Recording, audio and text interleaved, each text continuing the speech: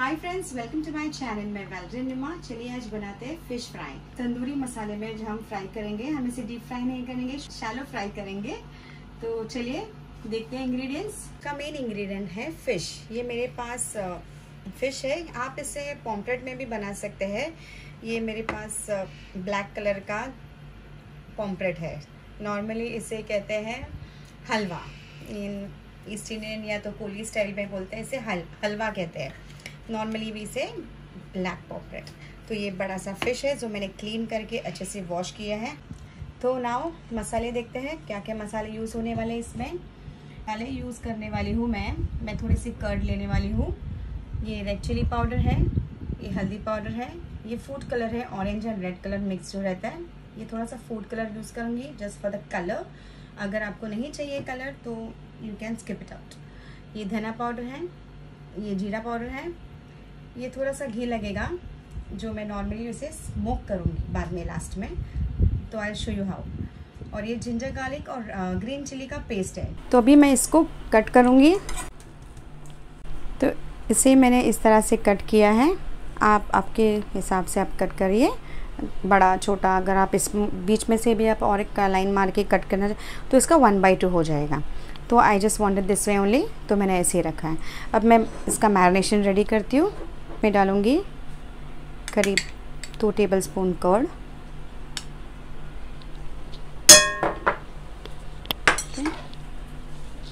डालूँगी इसमें red chilli powder about one tablespoon से थोड़ा ज़्यादा। हल्दी पाउडर वन टेबल स्पून धना पाउडर ये वन हाफ़ टी स्पून है ज़ीरा powder.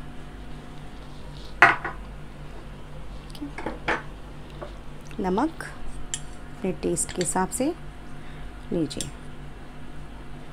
Salt as per your taste इसमें डालूँगी मैं करीब एक बड़ा tablespoon ginger garlic and green chilli paste okay अभी पहले मैं इसे मिक्स करूँगी इस तरह से।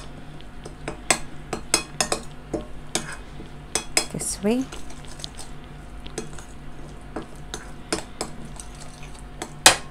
इसमें मैं डालूँगी थोड़ा सा food colour now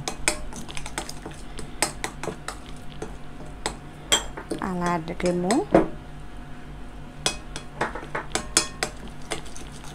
इसमें अब पड़ेगा राई का तेल. About two tablespoon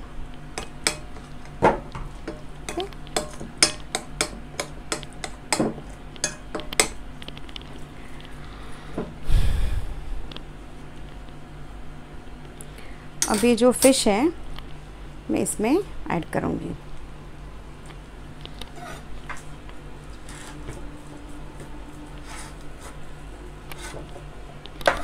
okay ये देखिए। ये जो फ़िश है, इसमें ऐड कीजिए। और इसे अच्छे से मैरिनेट कीजिए। और ध्यान रखें जितना देर आप मैरिनेशन रखेंगे, उतना ही ज़्यादा टेस्टी बनेगा। अगर आपके पास वक्त है तो प्लीज़ मैरिनेट कीजिए। If you don't have time but at least for ten minutes you keep the marination fish हो या चिकन हो, जितना अच्छा मैरिनेशन होगा, उतना अच्छा टेस्टी बनेगा। अभी मैं इसको एक टेन फिफ्टीन मिनट्स के लिए छोड़ देती हूँ। मैंने फ्लेम ऑन कर दिया है। पैन रख दिया है। मैंने ये वाले पैन यूज़ की हूँ। आपके पास जो नॉर्मल फ्राई पैन रहती है आप वो भी यूज़ कर सकते हैं। और एक बात मैंने फ्राई करने के लिए राई का तेल लिया है। I have not using coconut oil और नॉर्मल अपना जो वेजिटेबल ऑयल होता है वो मैंने यूज़ नहीं किया है। मैंने मैरिनेशन में भी राई का तेल डाला है और फ्राई में भी राई का तेल यूज़ करी हो। इससे टेस्ट बहुत अलग आता है। सो so, हमारे almost ten to fifteen minutes हो चुके हैं। मैं इसे फ्राई कर रही हूँ।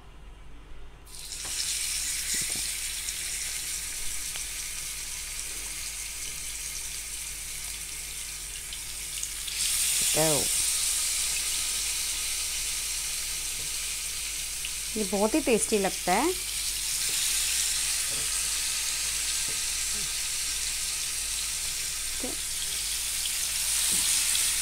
फ्लेम को मीडियम कीजिए। और ये जो बचा हुआ मसाला है ट्राई टू कोट इट आप फ्लेम को मीडियम इसीलिए बोल रही हूँ, क्योंकि हम जब फ्लेम हाई करते हैं, फ़िश तो फ्राई होता है, बट जो बॉटम रहता है, वो बर्न हो जाता है, मसाला जल जाता है कम्प्लीटली और फिर पूरा कड़वा टेस्ट लगता है। ठीक है या तो इसे हम फ्लिप करते हैं। स्लोली एकदम धीरे इसे भी इस तरह से। टर्न फ़िश बहुत सॉफ्ट होता है तो जब भी आप फ्लिप करेंगे, संभाल के कीजिए। जब तक हमारा फ़िश सेकंड साइड भी फ्राई हो रहा है, मैं कोयला है, उसे स्मोक देने की तैयारी करती हूँ। तो ये मेरे पास एक कोयले का टुकड़ा है, उसे मैं फ्लेम ऑन करके बर्न करती हूँ। स्लो गैस पे और मेरे मीडियम फ्लेम जब तक ये गर्म हो रहा है, तब तक मेरा फ़िश भी फ्राई हो चुका होगा। तो ये फ़िश है, मैंने ये जो कोयला है, ये मैं कटोरी में डाल रही हूँ। और इसके ऊपर से I be adding half teaspoon of ghee. Now quickly मैं इसको स्मोक कर रही हूँ और इसे दबा के रखिए।